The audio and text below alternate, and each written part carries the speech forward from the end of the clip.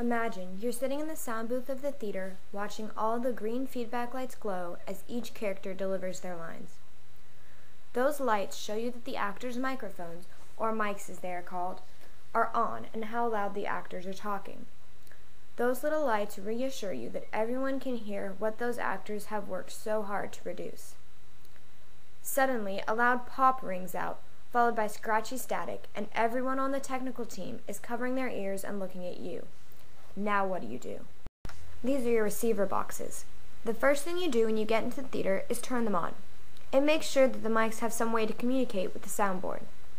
This is a wireless body mic. Most body mics run on 9 volt or AA batteries. After you've turned on your receiver boxes, you want to make sure that all your mics have fresh batteries. If a battery dies during a show, it's no one's fault but the sound tech. Checking your battery levels are easy since all mics have a battery level indicator and a power switch located directly on the top of the mic pack. Some of the problems you'll encounter as a sound tech can be fixed while you're changing batteries. Sometimes the connection between the cord and the battery pack will come loose. Just grab some gaff tape and tape them together and it should hold for the rest of the show. Now you're ready to use your soundboard. A typical soundboard will look something like this, but all you have to worry about right now are your sliders. Sliders control the volume for a specific mic.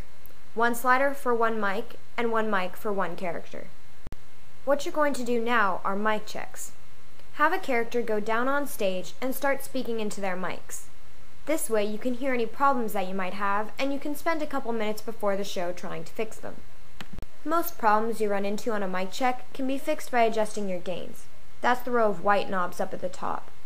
They're a little different than slider volumes because gains control the input while sliders control the speakers. Oftentimes, you can eliminate static by turning your gain down and your slider up. But if the static goes out of that mic during a show and your slider's all the way up, get ready for the whole theater to go deaf. Luckily, you shouldn't have to reset gains. Once you find something that works for a specific character, you won't have to mess with it for the rest of the show. The most important thing for a sound tech to have during a show is a script. An experienced tech can run a show without having seen it if they have a script. All you have to do is follow along with what you're hearing, and you can see whose lines are next and whose sliders need to be turned up. Simply slide the sliders up for their lines, leave it on when they're on stage, and turn it off when they leave. It's simple. But during the show is when you run into those unavoidable problems that the whole theater can hear. During a show, this is what your board should look like. You should have some sliders up and some of them off. What you want to be watching during the show are these lights. They're your feedback lights.